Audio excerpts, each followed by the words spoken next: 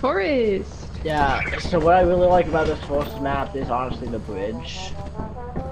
This one doesn't have trees. It doesn't? Oh no. This one with the pit.